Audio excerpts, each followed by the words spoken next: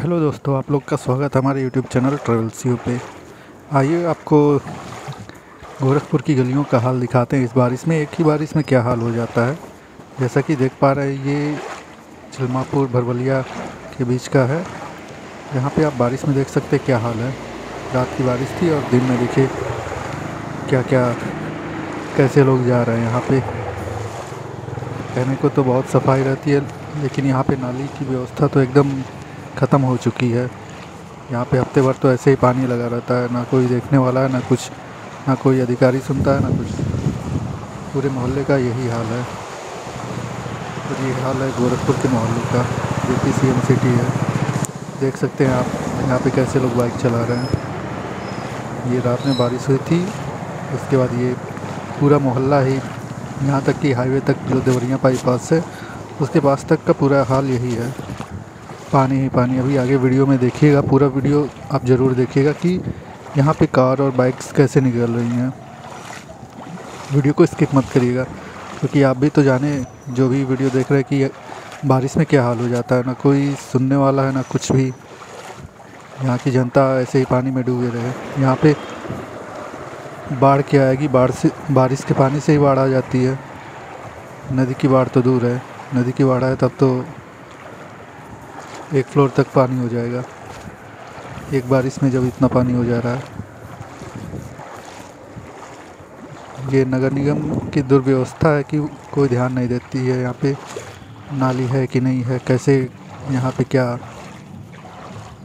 क्योंकि ये एरिया बहुत ही सही है, ये तारामंडल के पास का है। पास में सर्किट हाउस है, लेकिन कुछ नहीं। अभी सुबह सर्किट हाउस के पास भीगी सड़क पे झाड़ू लग रहा था, क्योंकि उस रास्ते नेता लोग आते जाते हैं। बारिश में झाड़ू लगा रहे हैं और यहाँ पे देखिए क्या हाल है। मोहल्लों का हाल कोई पूछने वाला नहीं है। बाहर से चमक धमक अंदर का बुरा हाल। सड़कें तो वैसे ही टूटी पड़ी हैं। कोई नहीं देखने वाला बनी है कि नहीं बनी है। जब नाली सही नहीं रहेगी तो सड़कें कहाँ से सही रहेंगी?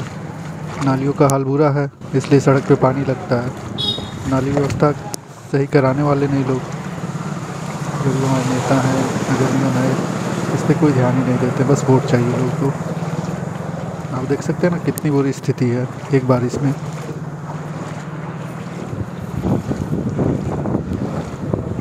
कोई गली ऐसी बची नहीं है जहाँ पे पानी ना हो।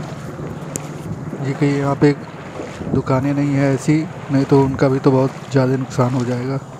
अभी आगे वीडियो में देखिएगा जो दुकानें हैं भी तो उनमें भी पानी जा ही रहा है।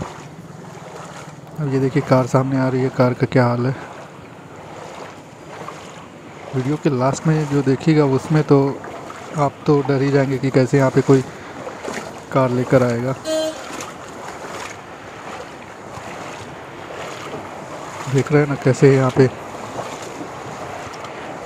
कुछ साइड होना पड़ेगा, नहीं तो भीग जाएँगे यहाँ पे।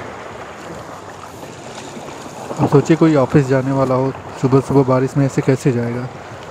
या तो वो हाफ़ पैंट पहन के ऑफ़िस जाए, या सूखी ज़मीन पे जब पहुँचे तब पान ड्रेसअप करे। ऐसे तो बहुत ही बुरी स्थिति हो जाती है। ये एक दिन का नहीं, यहाँ पे हर साल बारिश में यही हाल होता है। हर साल क्या, जब भी बारिश होती है तो ये हाल हो जाता है। क्योंकि सबसे ज़रूरी जो ड्रेनेज सिस्टम होता है उसका तो कुछ पता ही नहीं चलता। ये देखिए, कोई गली नहीं बची है। और फिफ्टी परसेंट तो यहाँ पे जो जनता है, उसके ऊपर भी दोष जाता है। वो भी कुछ नहीं करती। जैसी है, वैसे काम चला रही है। बस काम चल जाए। अब देखिए, ऊंचाई पे दुकानें नहीं तो इनका भी नुकसान हो जाता। और ज़्यादा बारिश हो जाए एक दो दिन तो ऊपर तक पानी चढ़ जाएगा।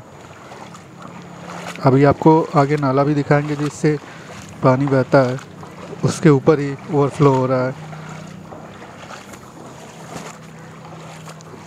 ये सेंट्रल अकेडमी के पास का जो पीछे वाली गली है, वहाँ का हाल है। यहाँ से सीधे आप पानमती पे आप जाएँगे पानमती हॉस्पिटल पे। ये वो गली है। फिर आप निकलेंगे देवरिया बाईपास पे।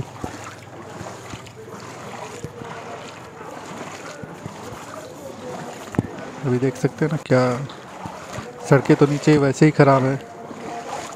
वो तो बनने वाली नहीं है। सामने उद्घाटन हुआ था, लेकिन अभी तक बनी नहीं। बन, बनती तो भी इस बारिश में ये टूट के किनारे हो जाती, क्योंकि ये सड़क एक दो साल में पहले बनी थी, लेकिन बारिश में ये टूट के किनारे हो गई। सड़क का भी वही क्वालिटी एकदम ज़ीरो रहता है। एक ही बारिश में टूट के किनारे देखिए, नीचे देख सकते हैं, सारे कंकड़ निकल आए हैं, जो पत्थर लगे रहते हैं। बस साइड में सड़कों का कुछ बचा हुआ है, बीच में तो चलने लायक भी नहीं है। यही है कि बाइक और साइकिल के पंचर ना हो, अगर कोई जाता है इस रास्ते तो और बारिश में तो आपके सामने क्या चल रहा है? कितना बुरा हाल है। हमें तो अपना डेली का काम करना ही है, लेकिन यहाँ पे नगर निगम तो लगता है जैसे सो रहा है, वो उससे बस नागरिकों के इस बुरी स्थिति से कोई मतलब ही नहीं है। और ना नेता लोग को उनका क्या है? उनको तो बस वोट चाहिए।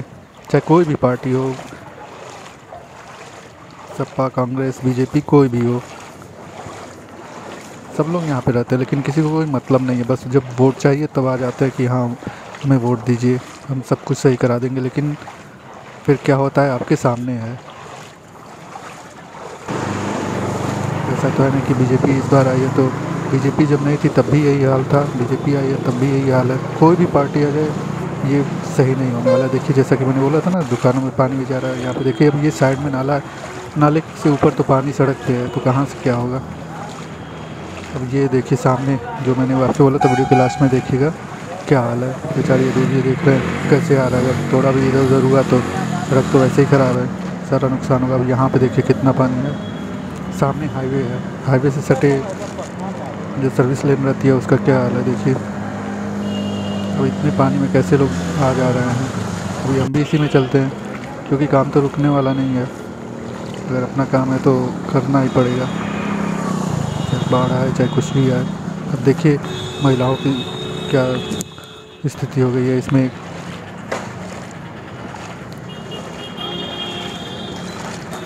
कितना पानी है? यहाँ पे घुटने तक तो पानी है ही। कहीं कहीं उससे भी ज़्यादा है। अगर नहीं संभल के चले तो इसमें गिर भी सकते हैं, क्योंकि सड़कें भी ख़राब है। कहीं ऊँची है, कहीं गड्ढे हैं, यहाँ पे। बहुत बुरी स्थिति है। बारिश में तो बहुत बुरी स्थिति हो जाती है। अगर आप हमारे सब्सक्राइबर और वीडियो देख रहे हैं तो ज़रूर से ज़रूर शेयर करिए। हमारे नेताओं के पास भी ये वीडियो जानी चाहिए। कि देखिए क्या हाल होता है। ये देखिए सर्विस लेन का क्या हाल है। ये करीब